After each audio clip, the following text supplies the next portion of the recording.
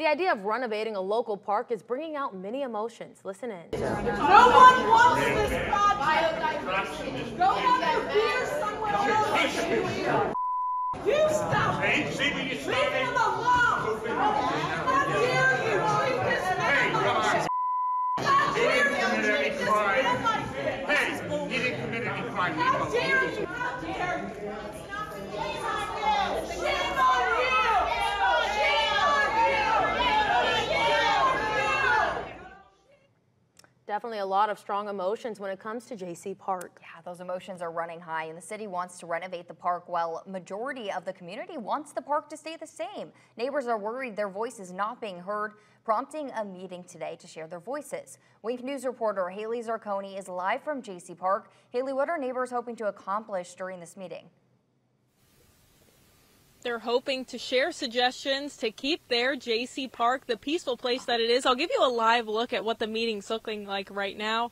Everyone's been told to bring their lawn chairs and their morning beverage, sipping coffee, and giving each other ideas of what's next for their park. What can they do to keep the park the way that it is as this new design plan is coming about? This week, in a 7 to 1 vote, Cape Coral City Council voted to approve the design concept of the park while this park is not a part of the several parks whose renovations are covered in the GO bond.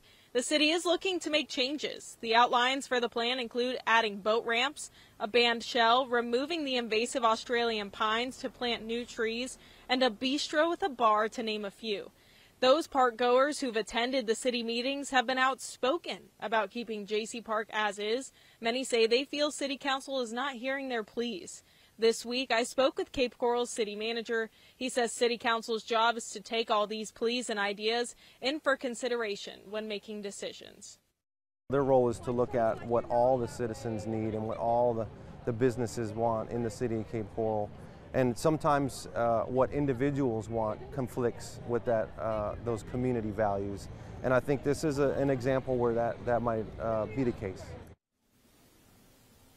And this conflict of what everyone wants out of this park is what sparks this meeting that you can see here today. There are over 20, possibly 30 Cape Coral Jaycee Park goers who've all came here today to talk about what's next for this park while the city has approved these concepts of the design plans. There are many more decisions to be made, and they say there's more input or places for the city to put in input as well as these park goers here. Live in Cape Coral, Haley Zarconi, Wink News.